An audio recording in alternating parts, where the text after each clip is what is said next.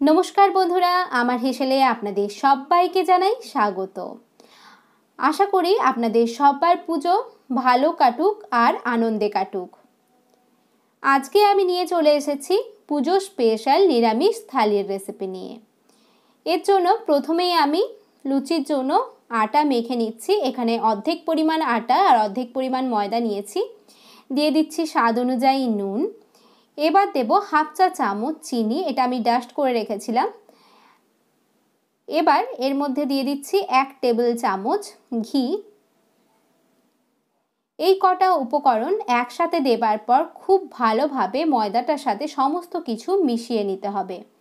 আপনারা চাইলে পুরোটাই ময়দা বা পুরোটা আটা দিয়েও কিন্তু লুচিটা করে নিতে পারেন।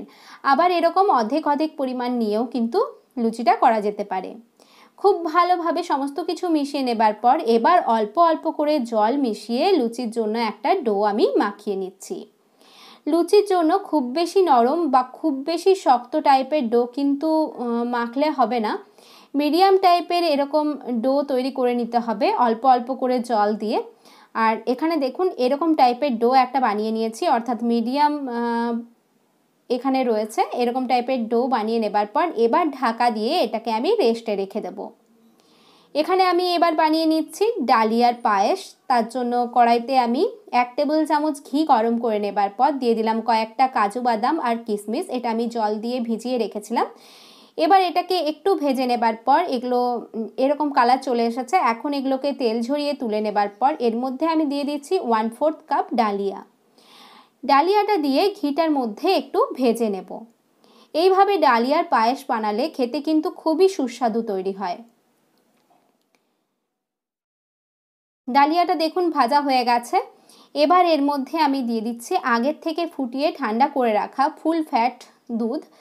এটা আমি চারশো এমএলের মতো দুধ দিয়ে দিয়েছি। এবার এর মধ্যে আমি দিচ্ছি একটা তেজপাতা। আর দেব একটা ছোট এলাচ। এইভাবে একটু মুখটা ফাটিয়ে তারপর দানাগুলো আলাদা করে দিয়ে দিয়েছি। এবার সমস্ত কিছু মিশিয়ে নিচ্ছি। ডালিয়ার পায়েস তৈরি হতে কিন্তু খুব বেশি সময় লাগে না। আর চালের পায়েসে যেমন ক্রমাগত নাড়াচাড়া করতে হয়, ডালিয়ার পায়েসে কিন্তু অতটা নাড়াচাড়াও করতে হয় না। মাঝে মধ্যে একটু আধটু নাড়াচাড়া দিলেই হবে। এবার ডালিয়াটা দেখুন, বেশ ভালোভাবে ফুটে উঠেছে। এখন এটা সেদ্ধও হয়ে গেছে। এবার এর মধ্যে আমি দিয়ে দিচ্ছি তিন টেবিল চামচ চিনি। মিষ্টিটা আপনারা নিজেদের স্বাদ বুঝে তারপর অ্যাড করবেন। চিনিটা দেবার পর সমস্ত কিছু একবার মিশিয়ে নিচ্ছি। আর এবার একবার এটা ভালোভাবে ফুটে উঠবার পর তারপর এটাকে আমি স্লো ফ্লেমে রেখে এর মধ্যে আগের থেকে ভেজে রাখা কাজু আর কিশমিশগুলো দিয়ে দিচ্ছি। কাজু আর কিশমিশটা দিয়ে ভালোভাবে সমস্ত কিছু একবার মিশিয়ে নিলাম। এই কনসিস্টেন্সিতেই আমি রাখব, কেননা এটা ঠান্ডা হবার পর অনেকটাই জমে যায়। এই পর্যায়ে এবার আমি ফ্লেমটা অফ করে দিচ্ছি আর ডালিয়ার পায়েস এখানে তৈরি হয়ে গেছে। এবার বানিয়ে নিচ্ছি ছোলার ডাল। লুচির সাথে ছোলার ডাল তো মাস্ট সেই জন্য এখানে আমি কড়াইতে নিয়ে নিয়েছি সর্ষের তেল। এক টেবিল চামচ সর্ষের তেল রয়েছে, দিলাম একটু তেজপাতা। ছিঁড়ে তারপরে তেজপাতাটা দিয়ে দিয়েছি। এবার এর মধ্যে আমি দিয়ে দিচ্ছি একটা শুকনো লঙ্কা, মাঝখান দিয়ে এভাবে একটু ছিঁড়ে দিয়েছি। এবার এর মধ্যে আমি দিচ্ছি হাফ চা চামচ গোটা জিরে। আর দেব এবার হাফ ইঞ্চি আদা আর দুটো কাঁচা লঙ্কা যেটা আমি থেতো করে রেখেছি সেটা। এখানে আদা আর কাঁচা লঙ্কাটা থেতো করে দিলে এর স্বাদটা কিন্তু বেশ ভালো আসে। তাই এখানে আমি থেতো করে তারপরে দিয়ে দিয়েছি। এবার ফোড়নটা এই তেলটার মধ্যে একটু ভেজে নিচ্ছি। দেখুন, সমস্ত কিছু ভাজা হয়ে গেছে। এবার এর মধ্যে আমি দিয়ে দিচ্ছি ছোলার ডাল, যেটা আমি নুন আর হলুদ দিয়ে আর জল দিয়ে সেদ্ধ করে রেখেছিলাম সেটা। সমস্ত কিছু একবার মিশিয়ে নিচ্ছি। এবার ডালটা ফুটে ওঠা পর্যন্ত অপেক্ষা করব। ডালটা দেখুন এখানে ফুটে গেছে। এবার এর মধ্যে আমি দিয়ে দিচ্ছি এক চা চামচ ঘি।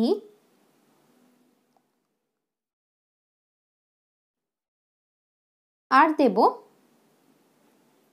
এখানে এক চা চামচ চিনি। ছোলার ডাল একটু মিষ্টি হলে খেতে ভালো লাগে, তাই চিনিটা এখানে আমি অ্যাড করে দিয়েছি। এবার এর মধ্যে আমি দিয়ে দিচ্ছি ওয়ান ফোর্থ চা চামচ গরম মশলার গুঁড়ো। গরম মশলার গুঁড়োটা দিলে কিন্তু টেস্টটা খুব ভালো আসে, তাই আমি এখানে অ্যাড করে দিয়েছি। সমস্ত কিছু একবার ভালোভাবে মিশিয়ে নেব। আর এবার মিশিয়ে নেবার পর এর মধ্যে আমি দিয়ে দিচ্ছি এক মুঠো কিশমিশ, যেটা আমি জলে ভেজিয়ে রেখেছিলাম, সেটা। কিশমিশটা দিয়েও সমস্ত কিছু মিশিয়ে নিচ্ছি। আর ডালটা খুব ভালোভাবে এই পর্যায়ে ফুটে উঠেছে। এখন আমি ফ্লেম থেকে নামিয়ে নেব। এটা কিন্তু ঠান্ডা হলে একটু জমে আসবে, তাই এই পর্যায়ে এটা এবার নামিয়ে রাখলাম। এখন আমি বানাচ্ছি আলু পটলের রসা। সম্পূর্ণ নিরামিষ পদ্ধতিতে এই আলু পটলের রসা আমি বানিয়ে দেখাচ্ছি।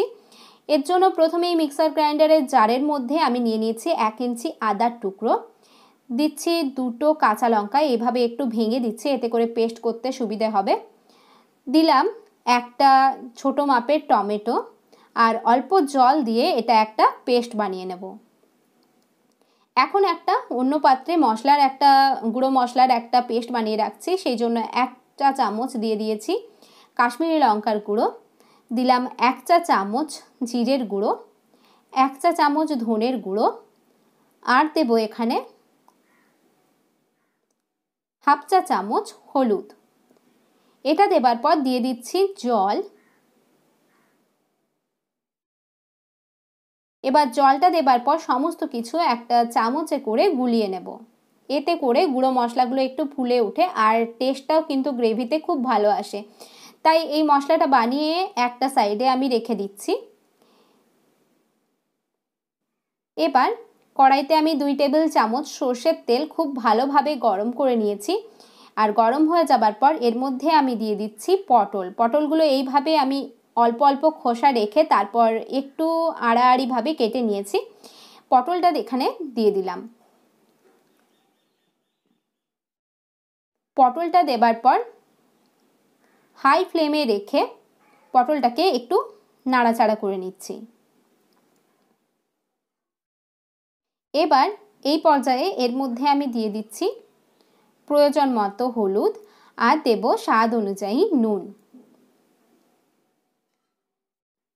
নুন আর হলুদটা দেবার পর এটাকে ভালোভাবে মিশিয়ে খুব ভালো করে ভেজে নেব যতক্ষণ না পটলটা একটু মজে আসছে আর পটলের গায়ে এরকম কালার চলে আসছে। এখন পটলটা ভাজা হয়ে গেছে, এবার এটাকে আমি তেল ঝরিয়ে তুলে নিচ্ছি। এবার বাকি থাকা তেলটার মধ্যে ফোড়নে আমি দিচ্ছি একটা তেজপাতা। এর সাথেই আমি দেব হাফ চা চামচ জিরে। এবার দিচ্ছি দুই চুটকির মতো বা দুই পিঞ্চ হিং। নিরামিষ এই রান্নায় হিং দিলে কিন্তু স্বাদটা খুব ভালো আসে। এবার ফোড়নটা একটু ভেজে নেবার পর এর মধ্যে আমি দিয়ে দেব আগের থেকে মশলা, গুঁড়ো মশলা দিয়ে যে পেস্টটা বানিয়ে রেখেছিলাম সেই পেস্টটা।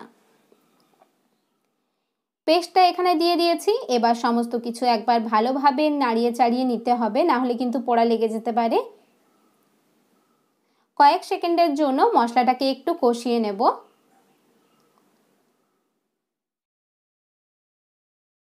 এবার এর মধ্যে যে আদা, টমেটো এইসব দিয়ে পেস্টটা বানিয়ে রেখেছিলাম, সেটা দিয়ে দিলাম। এবার দেবার পর মশলাটাকে কিন্তু খুব ভালোভাবে কষাতে হবে। যতক্ষণ না আদা বা টমেটোর কাঁচা গন্ধটা যেটা রয়েছে, সেটা চলে যায় ততক্ষণ পর্যন্ত।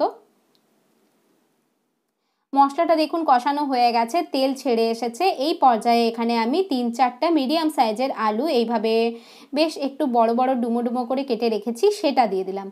আলুটা এখানে ফিফটি পার্সেন্টের মতো আমি ভাপিয়ে রেখেছি। পুরোপুরি সেদ্ধ কিন্তু করিনি। আলুটা দেবার পর মশলার সাথে ভালোভাবে কষিয়ে নিয়েছি। পটল ভাজবার সময় আমি নুন দিয়েছিলাম, সেই বুঝে এখানে আলুর জন্য যতটুকু নুন রাখবে সেই অনুপাতে নুনটা দিয়ে নিয়েছি। নুনটা দেবার পর মশলার সাথে ভালোভাবে কিন্তু কষিয়ে নিতে হবে। এবার ভেজে রাখা পটলগুলোও দিয়ে দিলাম। আলু, পটল আর এই মশলাটার সাথে মিলিয়ে মিশিয়ে এক থেকে দু মিনিটের জন্য একটু কষিয়ে নিচ্ছি। দেখুন, এখানে কষানো হয়ে গেছে। এবার এর মধ্যে আমি দিয়েছি দিয়ে দিচ্ছি প্রয়োজন অনুযায়ী জল। সবজিগুলো সেদ্ধ হবার জন্য যতটা পরিমাণ জল লাগবে সেই বুঝে জলটা অ্যাড করতে হবে। সমস্ত কিছু মিশিয়ে নিচ্ছি আর তারপর ঢাকা বন্ধ করে দিয়ে এটাকে স্লো টু মিডিয়াম ফ্লেমে সেদ্ধ করে নিতে হবে। ততক্ষণ পর্যন্ত, যতক্ষণ না আলু আর পটলটা ভালোভাবে সেদ্ধ হয়ে যাচ্ছে। এখানে এটাকে আমি ঢেকে দিলাম। এবার ঢাকা সরিয়ে নিচ্ছি। মোটামুটি চার পাঁচ মিনিট পর ঢাকা সরিয়ে নেবার পরে দেখছি আলু পটল দুটোই সেদ্ধ হয়ে গেছে। এবার এর মধ্যে আমি দিয়ে দিচ্ছি অল্প পরিমাণে চিনি।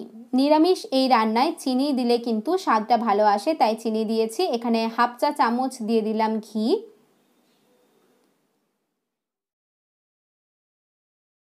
আর এখানে আমি দিয়ে দিচ্ছি ওয়ান ফোর্থ চা চামচ গরম মশলার গুঁড়ো।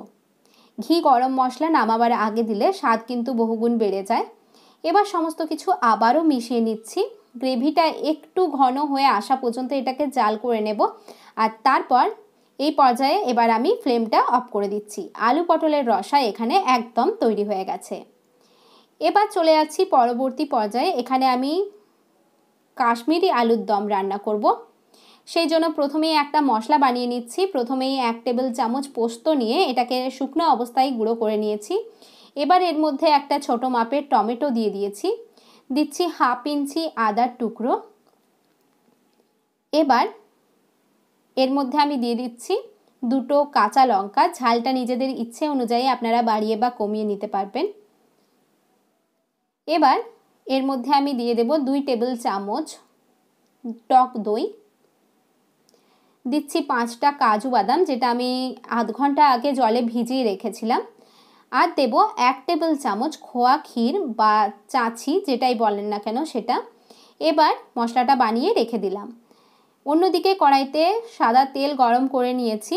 আর তেলটার মধ্যে আগের থেকে সেদ্ধ করে রাখা ছোট ছোট সাইজের পাঁচ ছটা আলু এখানে আমি দিয়ে দিয়েছি। আলুটা দেবার পর এখানে আমি আলুটার মধ্যে কিছু মশলা অ্যাড করছি। প্রথমেই দিলাম নুন। স্বাদ অনুযায়ী নুন দিতে হবে। আর দেব অল্প পরিমাণে হলুদ। আর দিচ্ছি কালারটা ভালো আসবার জন্য অল্প পরিমাণে কাশ্মীরি লঙ্কার গুঁড়ো।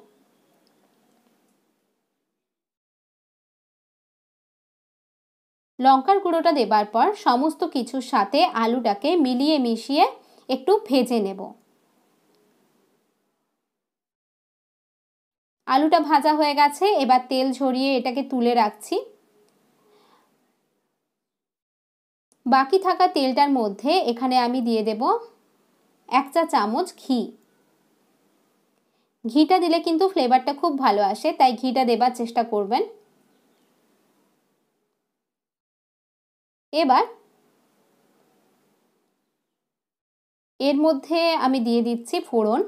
ফোড়নের জন্য এখানে দিয়েছি কিছু গোটা গরম মশলা। দিলাম একটা শুকনো লঙ্কা, তেজপাতা। এখানে রয়েছে লবঙ্গ, এলাচ, দারচিনি আর একটু জৈত্রী আর দিলাম খুব অল্প পরিমাণে গোটা জিরে। সমস্ত কিছু একটু ঘিটার সাথে মিশিয়ে ভেজে নেবার পর আগের থেকে মশলার যে পেস্টটা বানিয়ে রেখেছিলাম সেটা দিয়ে দিলাম। মশলাটা দেবার সাথে সাথেই কিন্তু ফ্লেমটা স্লো করে দিতে হবে, না হলে কিন্তু দইটা ফেটে যেতে পারে। এবার ক্রমাগত নাড়াচাড়া দিয়ে মশলাটাকে কষিয়ে নিতে হবে। এক থেকে দু মিনিট এটাকে একটু এইভাবে নাড়িয়ে চাড়িয়ে মিডিয়াম ফ্লেমে রেখে এবার কষিয়ে নেব। এবার এর মধ্যে আমি দিয়ে দিচ্ছি হাফ চা চামচ হলুদ আর দেব এখানে হাফ চা চামচ কাশ্মীরি লঙ্কার গুঁড়ো। এতে করে কালারটা খুব ভালো আসবে। দিচ্ছি এক চা চামচ জিরের গুঁড়ো। আর দিলাম হাফ চা চামচ চিনি। সমস্ত কিছু দিয়ে মশলাটাকে একবার কষিয়ে নিতে হবে।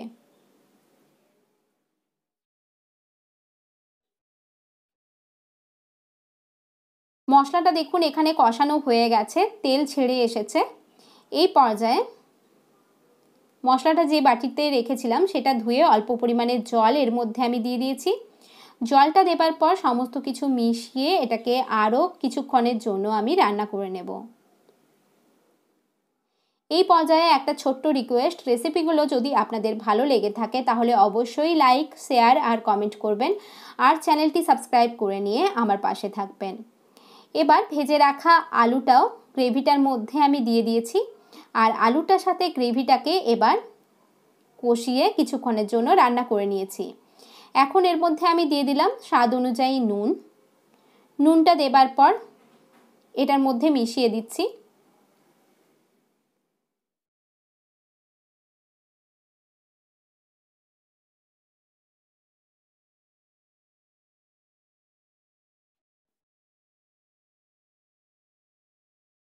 এখন এর মধ্যে আমি অল্প পরিমাণে জল দিয়ে দিলাম। জলটা দেবার পর আলুটাকে এইভাবে একটু স্প্যাচুলা করে ভেঙে ভেঙে দিচ্ছি। এতে করে ভেতর পর্যন্ত মশলাটা পৌঁছে যাবে। তবে পুরোপুরি আলুগুলো ভেঙে দিলে চলবে না। এইভাবে একটু কাটের দাগ আমি দিয়ে দিচ্ছি। এবার উল্টে পাল্টে গ্রেভিটার সাথে এক দু মিনিটের জন্য রান্না করে নেবার পর এটা আমি নামিয়ে নিচ্ছি। দেখলেন তো কত সহজে কাশ্মীরি আলুর দম এখানে তৈরি হয়ে গেছে। এবার আমি চলে যাচ্ছি লুচি তৈরি করবার প্রসেসে এখানে ছোট ছোট লেচি আমি কেটে নিয়েছি। অল্প একটু তেল দিয়ে এইভাবে লুচিগুলো বেলে নিতে হবে। দেখুন, যেমনভাবে দেখাচ্ছি, এইভাবেই লুচিগুলো বেলে নিতে হবে। আর এর, এরকম টাইপের ঘনত্ব এটা রাখতে হবে। এবার কড়াইতে আমি পর্যাপ্ত পরিমাণে তেল গরম করে নিয়েছি। এইবার একে একে লুচি এর মধ্যে আমি দেব আর এইভাবে চেপে চেপে প্রত্যেকটা লুচি বানিয়ে নেব। দেখুন, প্রত্যেকটা লুচি কিন্তু খুব ভালোভাবে ফুলে উঠছে। এইভাবে নিরামিষ থালি আপনারা যে কোনো দিন বানিয়ে ফেলতে পারেন। আশা রাখছি আজকের রেসিপি আপনাদের কাছে ভালো লাগবে। এবার তেল ছড়িয়ে লুচিটা আমি তুলে নিচ্ছি। আরও একটা লুচি এখানে বানিয়ে দেখাচ্ছি। দেখুন সেম প্রসেসে গরম তেলের মধ্যে এটা দেবার পর এইভাবে একটু চেপে চেপে তেলটার মধ্যে এটাকে ডিপ করে দিচ্ছি। আর দেখুন, এটাও কিন্তু পারফেক্টভাবে ফুলে উঠেছে।